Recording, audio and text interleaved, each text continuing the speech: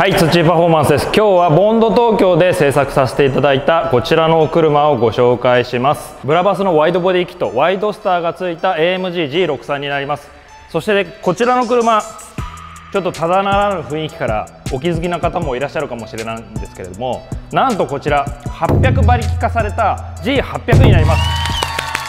す。すごい。そして2台目です。はい。で去年一度黒い G800 をご紹介させていただいてるんですけれどもちょっと今回改めてご紹介させていただきたいと思います、えー、去年11月に僕ちょっとブラバスの本社の方に行って、え、ちょっと勉強もしてきてますし、えー、撮影編集技術も多少マシになってると思いますんで、えちょっと改めてにはなるんですけれども、えご紹介します、えそしてですね、えこの動画見てくださってる方はおそらくブラバスえー、ご存知の方がほとんどだと思うんですけれども改めてちょっとご紹介させていただくと、え、ブラバスはドイツにあるメルセデス専門のチューナーになります。で日本だとどうしてもエアロパーツホイール、えー、メルセデスの改造車っていうイメージが先行してると思うんですけれども、え、実際は、え、メルセデス純正で満足できない方のために外装内装エンジンさまざまなところを、まあ、作り直す、はい、そんなことをやってる会社になります。そしてメルセデスとの距離が非常に近いのも特徴です。え実際メルセデスの特装車特殊な装備の車ですね。防弾仕様だったりだとか、えあとはプルマンリムジンですね。そういった車の製作もブラバス社で行われています。そしてさらにスマートブラバス、え、スマートでも外装がちょっとアグレッシブになってエンジン出力がちょっと上がってるモデルあると思うんですけれども、えそちらはスマートブラバスっていうブラバス社とメルセデス社持ち株比率50対50のもう完全に対等な立場で一緒に作られた会社が、え製造している車になります。でそちらの車の組み立て製造も実はブラバス社で行われてます、まあ、具体的に言うとブラバスの隣のブラバスオートモーティブっていう、はい、会社の工場で組み立てが行われてるんですけどもそれぐらいメーカーと非常に距離が近いっていうことになりますね。でさらにさらに言うと、えー、某ハイパーカー、まあ、表向きは AMG 製のえチューニングエンジンが搭載されてますよってことにはなってるんですけども実はそのチューニングを行ってるのもブラバスだったりします。なんで、まあ、ちょっと日本のイメージと違って非常にメルセデス社とも非常に近い関係でなおかつちょっとその改造っていう枠からちょっと超えた本当に車を作り変えるっていうそんなことをやってる会社になります。でちょっと早速外観のご紹介からさせていただきたいと思うんですけれども、えー、今回ワイドボディキットのワイドスターがついてることによって左右それぞれ 30mm ずつワイドになってます。でちょっとえー、ワイドになってる部分は一旦置いといてちょっと前からご紹介させていただきたいと思います。でまずバンパーですね。こちらもワイドスター、えー、ワイドボディキットのワイドスターの専用のバンパーになります。当然ワイドボディに合わせて左右はそれぞれ幅が広いものが装着されています。そしてですねこのバンパーデザイン見ていただけると分かると思うんですけれども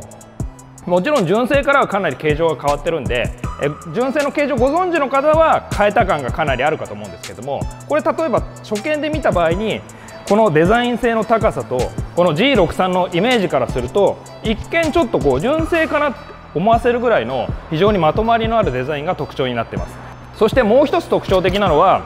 え安価なエアロパーツだと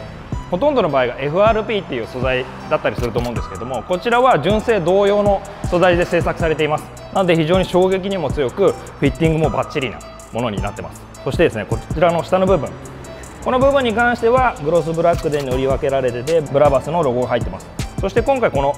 グリルの部分ですね。こちらも全部艶ありの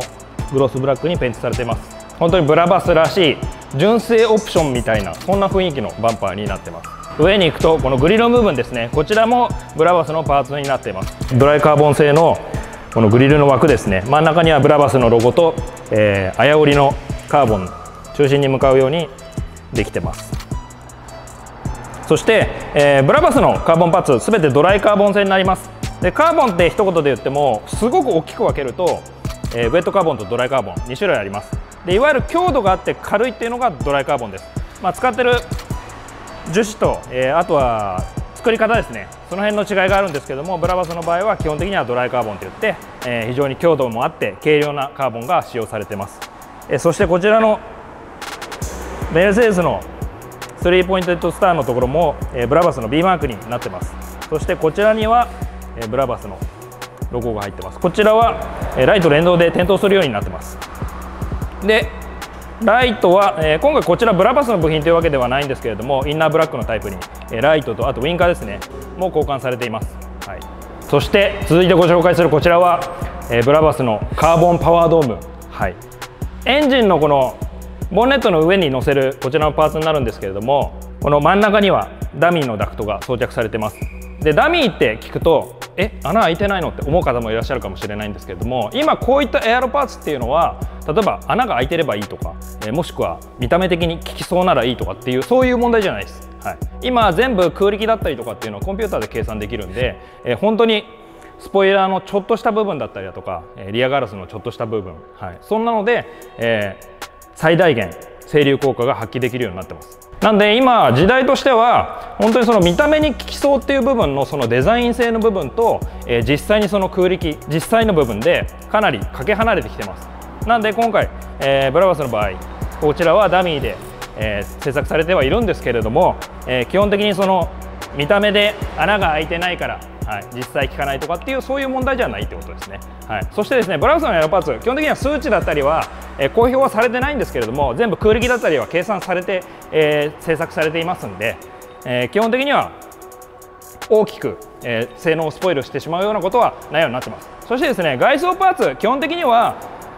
運転席から要は中からとかっていうのは基本的に見えないんですけどもこちらのパワードームに関しては運転席からめちゃくちゃ見えます、はい、見えることによって本当に特別な車特殊な車を運転してるんだっていうことが、まあ、本当にドライバーに伝わって演出にもつながっています、はい、そして僕的にはもう仮にこれが空気抵抗になったとしても800馬力あるんで関係ないです、はい。なんでまあ穴が開いてればいいっていう問題じゃないですね。今本当にそのデザインとしてのダクトも本当に増えてきてるんでまあブラバスもそういったものを取り入れてるってことですね。はい。そしてこちらも全部綾織の中心に向かうようなカーボンの目で製作されています。はい。なのでこれがあるだけで前回りの迫力が全然違ってきますね。はい。もう価格ももうちょっと土級の価格なんですけれども。はい。まあ、非常におすすめなパーツの一つです。そして続いてサイドちょっとご紹介させていただきたいと思います。サイドは当然ワイドスターワイドボディキットなんで 30mm ワイドのオーバーフェンダーが装着されてます。でこちらにもダミーのダクトが設置されてます。でこちらもダミーなんで当然穴は開いてないんですけれどもそういったデザイン性を高めるためにこういったものがついてます。でこちらはグリル同様、はい、光るエンブレムになってます。で当然、え、フェンダーなんかもバンパー同様純正の、えー、バンパーと同じような素材で製作されてますんでこちらも非常に衝撃にも強く、はい、フィッティングもバッチリな製品になってます。そしてそこに収まるのがこちらブラバスモノブロック Y プラチナムエディション、えー、単造ホイールの23インチこちらになります。で組み合わせるタイヤは横浜のアドバン3053523こちらが組み合わせられています。はい、でこちらのホイールはワイドボディに合わせて約 50mm のワイドトレッドスペーサーを装着しての、取り付けになっています。なのでワイドボディキットともえこの出面も完璧な出面になってます。そしてセンターキャップは当然ブラバスの B マークが入っています。で今回のこちらの車はブレーキに関しては AMG63 そのまんまなんですけれどもキャリパーも、えー、お好きな色にペイントしてロゴもブラバスなんていうこともできます、はい、そんな足元になってます。あこれもだね。はい。でエアバルブも当然ブラバスの B マークの入ったエアバルブになってます。はい。続いてサイドちょっと見てみたいと思います。でえー、先代モデルと違ってワイドスター、えー、現行モデルはドアパネルはつかない、えー、非常にすっきりした印象になってます。でこちらのミラーカバー、はい、こちらもブラバスのカーボンのミラーになってます。そして横のこのエンブレムモールの部分ですね。こちらはブラバスのロゴが入って800馬力化の証800のエンブレムも入ってます、はい、そしてサイドステップなんかはこれ全部、えー、グロスブラックになってます。でそれぞれフェンダーから続くここには LED のライトが取り付けられてますんでドアオープンに連動して点灯するようになってます、はい、ともう1点こちらのブラウスのパーツっていうわけではないんですけれどもこのドアノブですね、はい、こちらもグロスブラック、はい、ペイントされてます。どうしてもゲレンデって車のキャラクター的にえこの素地の、はい、ザラザラしたプラスチックのパーツが多いんですけれどもやっぱり高級感を高めるためにそういったパーツを少しでも消すように今回そういったカスタマーがされてます。で、えー、まあ、全部塗っちゃってもいいんですけれども、えー、このモールだったりだとかリアのレピュラーのカバーですね。ところどころこのザラザラのパーツも、えー、残して辻褄が合うようになってます、はい、なんでこの辺のさじ加減も全部ボンドグループすべてお任せいただけますんで、えコンプリートカーを作るときに合わせてカスタマイズしていただくといいんじゃないかなと思います、はい。そしてこちらマフラーですね。今回は、えー、ブラバスのものでなくカプリスト。ドイツのマフラーメーカーカプリストのマフラーが装着されています。こちらはバルブ付きなんでリモコンで任意のバルブの開け閉めができるようになってます。そしてリアに行くとリアも同様 30mm ワイドのオーバーフェンダーが装着されてます。でリアはダクトは1つ、はい、ダミーのダクトが装着されてます。そしてリアも同様ですね、はい、同様のホイールが装着されています。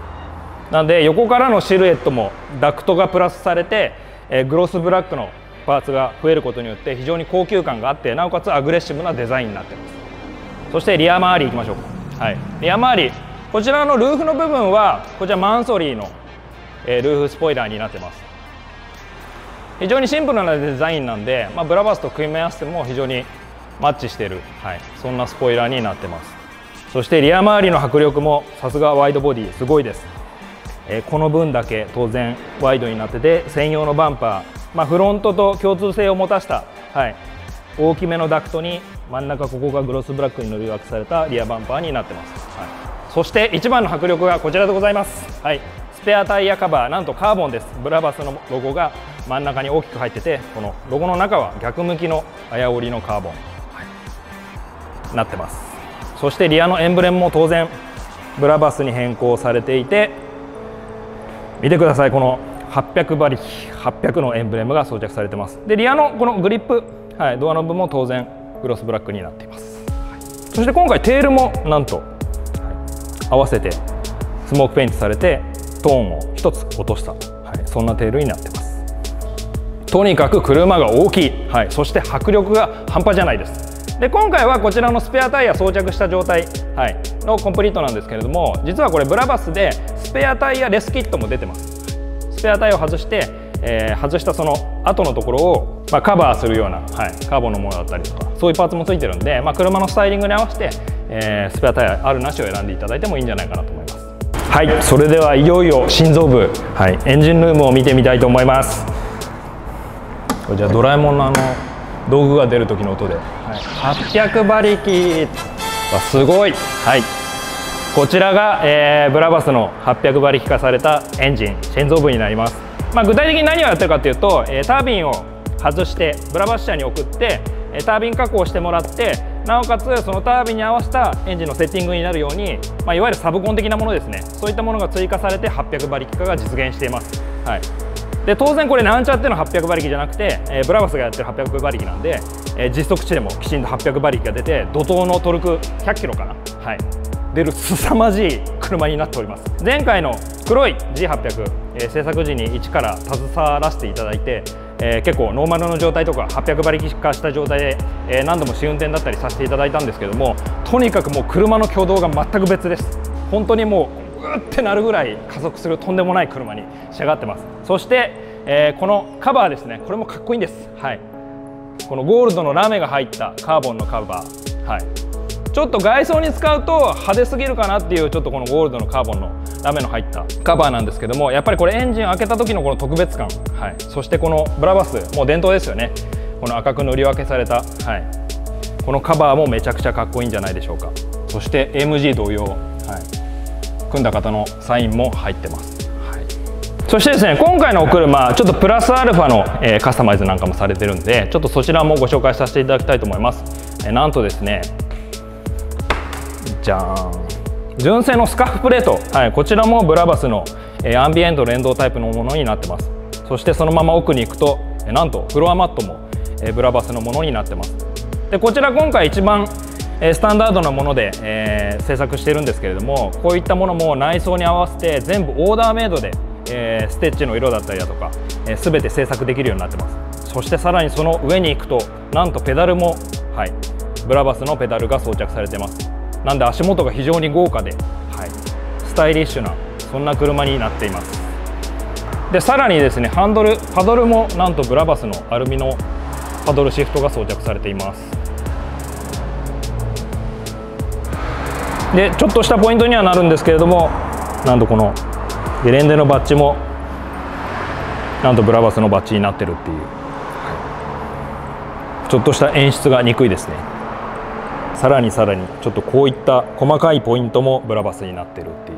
は当然アンビエントのこのスカーフプレートは全席、はい、後部座席もさらにトランクにも、え装着されています。あれ何この便利そうなタンス、はい、IID の、えラゲッジも装着させていただきました、はい、そしてトランクのこのマットも当然ブラバスのものになってますで今回ご紹介させていただいた内容の他に例えばルーフのライトだったりだとかあとはこちらのバンパーのこの下の部分をカーボンにしたりだとかさまざ、ま他にもパーツが、ラインナップされています。ボンドグループでコンプリートカーの製作販売何でもできますんでぜひご相談くださいませ。そしてですね日本だとまだあまりされる方はいらっしゃらないんですけれどもやっぱりブラバスっていうと内装のカスタマイズこれが本当にすごいです。さまざまなカラーさまざまなステッチさまざまなパンチングで本当にオーダーメイドで内装のフルカスタムっていうこともできます。そういったオーダーもぜひお待ちしております。で去年、えー、ブラバス11月に、えー、本社の方に工場見学行った動画もありますんで動画の概要欄の方に貼っておきますんでぜひそちらも見てみてください。そしてこの動画が少しでもいいねと思ったら、えー、高評価とチャンネル登録もぜひよろしくお願いします。最後までご視聴ありがとうございました。